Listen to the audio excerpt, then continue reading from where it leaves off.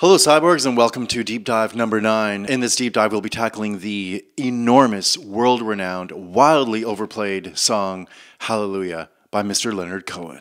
This is not to be confused with the Happy Mondays Hallelujah, nor the Hallelujah chorus from Handel's Messiah. No siree, Bob. I like to refer to this song as the little song that could, because in 1984, CBS Records had so little faith in the song that they refused to release it. Yet now, in 2020, there are 300 known versions of this song in existence. It's a song that was written in a hotel in New York 37 years ago, and just last week it was sung on an Italian balcony during a pandemic, and the video has accrued over 1 million views. This song has an incredible story behind it. As you might expect, I like tackling songs with interesting backstories, and Hallelujah is no exception. This isn't your typical top 40 hit that was released and went straight to the top of the charts. In fact, the song was largely unknown until over a decade after its release. It's steadily grown in popularity, and now it's seen as somewhat of a modern secular hymn for the ages. Be sure to stick around to the end when I'll hook you guys up with some dank Hallelujah memes. Hopefully, God won't smite me for being so sacrilegious. So grab your snorkel, hit subscribe, ding that bell, and strap yourself in. 1984, the year of Purple Rain and Michael Jackson's Thriller. Soviet Union boycotted the Summer Olympics. Leonard Cohen's career had hit a low point. Nobody was talking about him. His 1977 album Death of a Ladies Man was a collaboration with Phil Spector, and it was not well received. It was a commercial and critical flop. His other album, Recent Songs, which featured Jennifer Warnes, was also a flop. So he was low. He was in a bad place. He ended his five year hiatus from writing. In 2001, he told Sylvie Simmons that he spent most of the time between 1979 and 1984 in the south of France with his children. Family time. These years, however, weren't entirely barren. In fact, in 83, he wrote and starred in the made for TV musical I Am a Hotel, which featured several songs in his narration. The storyline to this short film features all sorts of romantic liaisons in King Edward Hotel in Toronto. Cohen features frequently as an amused bystander. The film also features my personal favorite song of Cohen's, Suzanne. Fast forward to 1984. According to Anthony Reynolds' 2010 memoir, Leonard Cohen A Remarkable Life, Leonard Cohen was holed up in his Royalton Hotel on 44th Street in New York, where he wrote Hallelujah. Rumor has it one writing session ended up with him sitting in his underwear banging his head on the floor. That head bashing Canadian, Leonard Cohen, was renowned for the copious amount of material he would write, and this song was no exception. In fact, he wrote 80 draft verses of this song. I kid you not. In any case, the Royalton was also where he met with producer John Lissauer. They met at the hotel so Cohen could play him his new songs. He played them on a Casio. Lissauer graduated from Yale. He and Cohen had worked together in the 1974 album. Strangely, they hadn't spoken for 10 years. It's kind of weird, isn't it? But then again, maybe it's not weird. Maybe I'm just being judgmental. Maybe sometimes people just don't talk because they get busy. I don't think they had anything against each other. I mean, come on. Come on. However, when they met up, John noticed something different. Leonard's voice had deepened. It dropped a minor third. Cohen himself was surprised by this vocal change. This was the beginning of a new phase in Cohen's career new composing style, new sound, new voice. So, a 50 year old Leonard Cohen recorded various positions at Quadrasonic Sound in New York City in the summer of 83. Bear in mind, this was the same year that Michael Jackson and Madonna were bursting onto the scene. Who the fuck was Leonard Cohen? Nobody. He was a fucking nobody, an old fuddy duddy put out to pasture. The little group of musicians who refer to themselves as Slow Train took the Slow Train from Tulsa to New York. Sid McGinnis, who played with the band at Late Night with David Letterman and stayed with the show ever since, provided guitar parts. Jennifer Warnes had an even bigger role on this album than his previous effort with her recent songs. I don't mean to sound rude, but her voice provided a counterpoint to the limited parameters of Cohen's voice. And Anjani Thomas also sang on the album. She was from Hawaii and ended up becoming Cohen's longtime companion. He produced an album of her singing his songs in 2006 entitled Blue Alert. The bass was synthesizer bass, as Lissauer felt that a real bass would conflict with the timbre of Cohen's voice. The choir was several small groups of singers recorded separately. Lissauer stated that he didn't want key changes or a massive choir. He wanted a feeling of humility to bleed through. According to the Rolling Stone, Lissauer had a blast working with Cohen. I've never had a more rewarding experience, he said. Leonard and I got along so well it was scary. There were no roadblocks, no disasters. It was great, start to finish. It was high art. It was just thrilling. Big words. Leanne Ungar, the sound engineer, said that in fact Cohen was quite pragmatic in the studio. He pared down the 80 verses to four after deciding how much he wanted to foreground the religious elements of the song. It had references to the Bible in it, although those references became more and more remote as the song went from beginning to end, he said. Finally, I understood that it was not necessary to refer to the Bible anymore, and I rewrote the song. This is the secular Hallelujah. The original version of the song is 6 8 time, evoking both waltz and gospel. It's kind of fitting that it evokes gospel considering, you know, the title of the song. Sticking with the gospel theme, the song contained several biblical references, such as Samson and Delilah from the book of Judges, She Cut Your Hair, and adulterous King David and Bathsheba, You saw her bathing in the roof, her beauty in the moonlight overthrew you. The meaning of Hallelujah as it exists in the Leonard Cohen version is both non transparent and transparent. The song definitely comes across like a prayer of sorts. Hallelujah means to praise joyously, and Yah is a shortened verb of the unuttered name of God. So the word Hallelujah is an instruction to the listener to sing tribute to the Lord.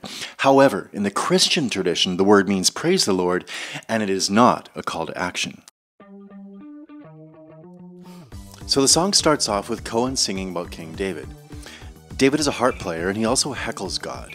Cohen follows this up with the line, But you don't really care for music, do you? It's like a slap in the face. This sardonic, flippant comment telling us off, We don't get it. We don't care. And then the narrator explains the song's musical structure. It's in the C major, and the chord progression matches the key of the song the fourth, the fifth, the minor fall, and the major fifth are. Conversely, C, F, G, A minor, F.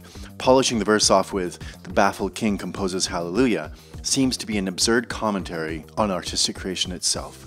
King becomes craftsman. The second verse shifts perspective to the second person. It is about David and Bathsheba. Essentially, great men who are called by God are still humans and struggle with sin. David wants to bang this chick who's married, and he does so. He bangs her. He bangs her hard. He really gives it to her all night, relentlessly. Not only that, but he puts a bun in her oven. He fills her up with his royal seed.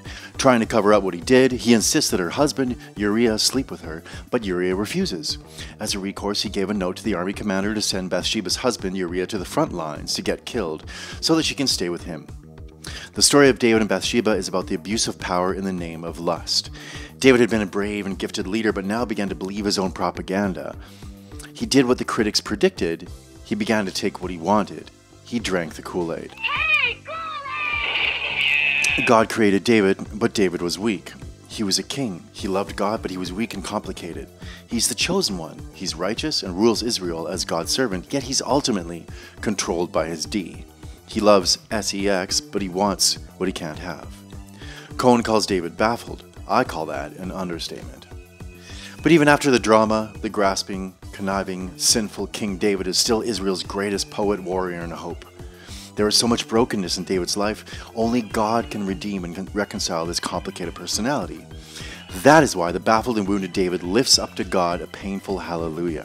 Following the David and Bathsheba reference, the sexuality of the lyrics is drawn further forward and then reinforced in an image of torture and lust taken from the story of Samson and Delilah. She tied you to a kitchen chair. She broke your throne. She cut your hair. Before resolving with a vision of sexual release, and from your lips she drew the hallelujah. Both biblical heroes are brought down to earth and risk surrendering their authority because of the allure of forbidden love. Even for larger than life figures and leaders of nations, the greatest physical pleasure can lead to disaster. So both these dudes are pretty messed up. They're both poets, both womanizers, both adulterers, and both seek God's forgiveness after their transgressions. Both stories are basically about powerful men who lose their power and their promising lives crumble into the dust. In the third verse, Cohen disputes the religious challenge of the first two verses. You say I took the name in vain, he sings. I don't even know the name. There's a blaze of light in every word. It doesn't matter what you heard, the holy or the broken. Hallelujah. Not only the Word of God is full of light, but every word is full of light according to Cohen, further underlining the secular approach to the song's theme. The fourth verse takes us to the song's logical conclusion, beginning with an admittance I did my best, it wasn't much. Cohen is only one middle aged guy trying to make ends meet. I've told the truth. I didn't come to fool you. This world is full of conflicts and full of things that cannot be reconciled, Cohen has said, but there are moments when we can transcend the dualistic system and reconcile and embrace the whole mess, and that's what I mean by hallelujah. The one moment that you can live here comfortably in these absolutely irreconcilable conflicts is the moment when you embrace it all and you say, Look, I don't understand a fucking thing at all. Hallelujah. That's the only moment we can live here fully as human beings.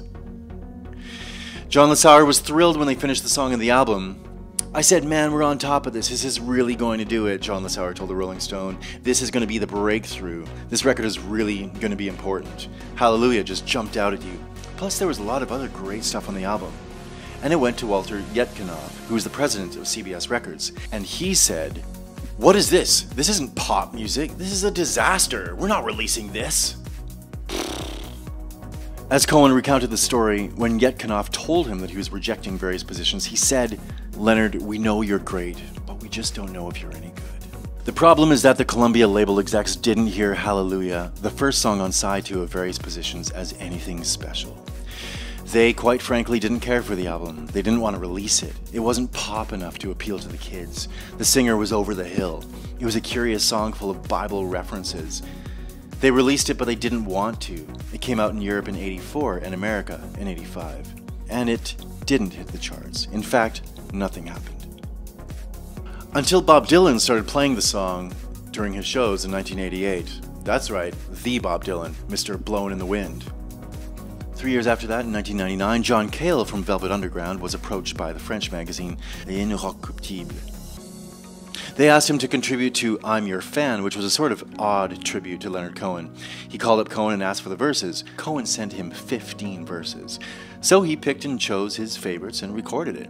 This was the first ever cover of the song. Ten years later, this version was used in Shrek, so in 2001, 17 years after its recording, Hallelujah finally hit the big time. Jeff Buckley provided a more sorrowful version a few years later on his album Grace. Sadly, he passed away a few years after that before the song really took off.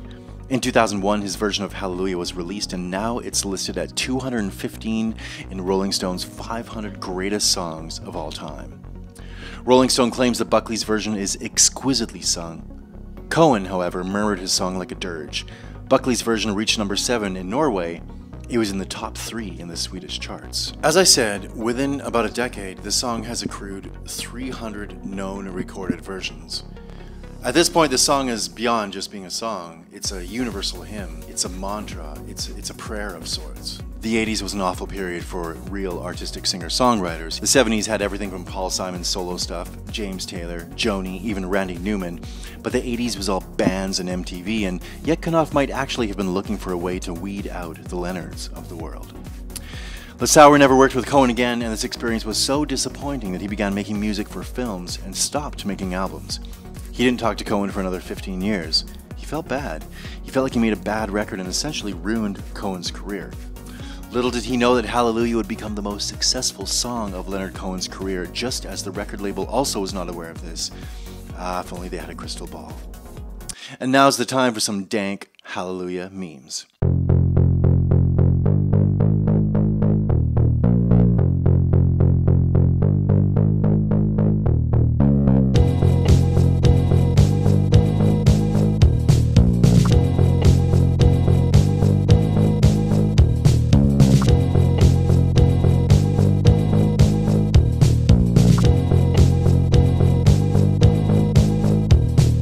Climate change will kill us all. Civilizations will fall. Nihilistic pessimism No cure for the human condition. We're all sheep, we heed the call. Media's invincible. Tell us what to say. Thank you for tuning in, and I'll see you next Friday for the next deep dive. If you have a song that you would like me to cover in one of my deep dives, be sure to leave it in the comments. And uh, the best thing you can do is to share this video, because sharing is caring, mother truckers. If you like Cohen, give this video a thumbs up, and if you don't like Cohen, give it a thumbs down. But let's face it, how could anyone not like Leonard Cohen?